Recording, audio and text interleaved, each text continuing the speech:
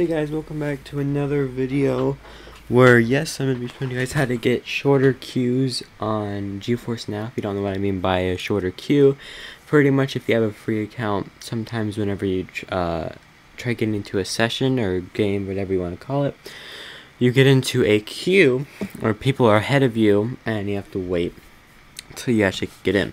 And this, this teaches you how to get into shorter ones so you just want to simply press play on whatever game or uh, you want to watch Steam or whatever you want to launch. Press play and wait for it to actually put you into the queue like this. So it's a nine minute queue right now. It's not horrible, but it's with the method with this method only take a minute, minute and a half to actually get into one. Every time, not every time. This does not work every time but uh, it works most of the time. So now you can just press X and press quit. And then you can press press play again.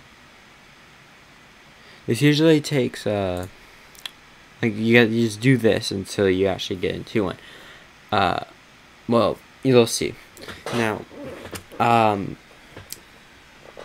it's this would you have to do it like two to three times uh, sometimes it's four, but I'll see if I in right now.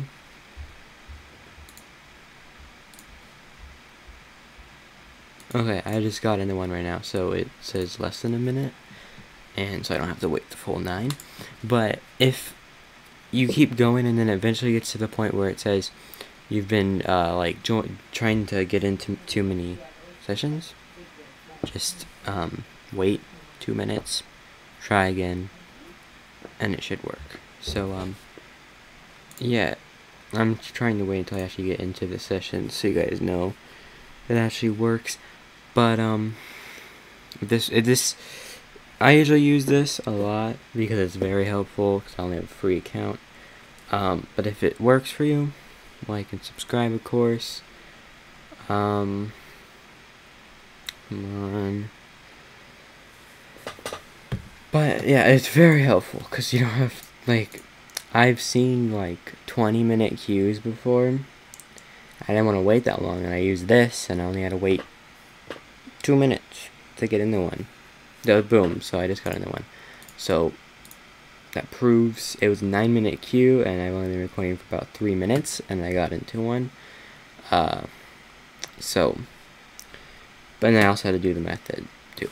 But you saw that not take that long, so um yeah, if it worked, subscribe and like, and I'll see you in the next one. Bye.